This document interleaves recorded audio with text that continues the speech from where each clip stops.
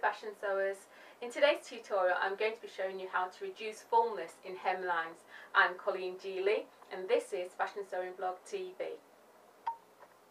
Here I've got an example of my hemline. So there's my hem that I want to turn up into my garment. Um, I've got basting stitch which shows you that this is the length that I actually want the garment to be.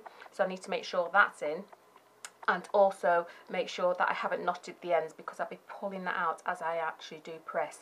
Now I want to show you the fullness that is in this hemline. Now just turn that around and if I put a pin there for you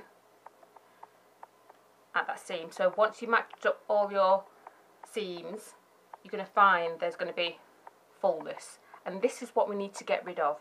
And the reason why we've got this is because the shaping of the actual uh, section to the garment is um, kind of an A-line shape. So therefore we've got the fullness here which goes up into a narrow part of the garment. Hence the reason you have this fullness.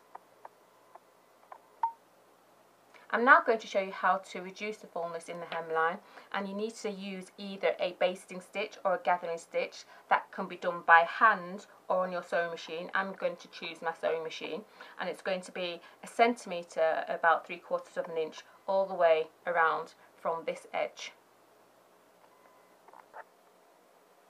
I've now stitched uh, my basting stitch using the larger stitch from my sewing machine. And um, you may be able to see here where I've actually pinned it and I've gathered it in comparison to the other side. So this is what we need to achieve on this side. Now to do that I can let me just turn it round so you can see that there's still fullness there that needs to be gathered in. And as I've achieved it here and put a pin in. Now it's, it's, it's the same procedure that you use for the gathering stitch which is just getting a thread underneath and then pulling it until it fits. Until it fits. So I'll just continue on this side. And then once you've got that fit and you can see that there's still a little bit of fullness that needs take, to be taken away and you're going to do that by using your iron and a sheet of paper which I'll show you in a moment. Now I've got a sheet of paper that I'm going to insert between the garment and the opening for the hemline. And the reason I'm doing that is to make sure we don't get a seam impression that show that possibly show on the front of your garment. So make sure that you do that. And it also depends on the um, fabric that you're using. So much more heavyweight fabric there will be definite lines shown on the right side. Now with your iron, a steam iron by the way you're going to be just using short little movements from the edge of the hem towards the edge. Just press out as much fullness as possible and also to shrink the fabric. Now it's easier as I'm sure you are aware if you've got natural fabric to actually steam the fabric and it will help to reduce the fullness. It takes a little bit more effort if it isn't a natural fabric. And there we have. Now that should be ready to Oh, by the way, make sure you do remove your basting that you've done for the hemline because you don't want an impression on the opposite side.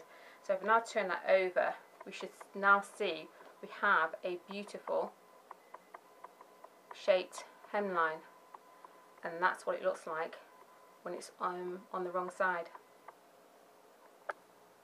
Now that I reduced the fullness in my hem and I'm very happy the way it actually is looking and it's also making sure that even though you can see a slight gathering here it will help with the shape of the garment because it actually is a garment that actually stands away from the body because it's A-line or it's a panel that has been like a gore for example.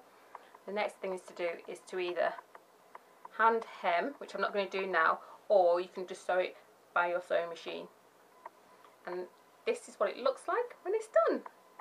So you've got that nice beautiful shape there.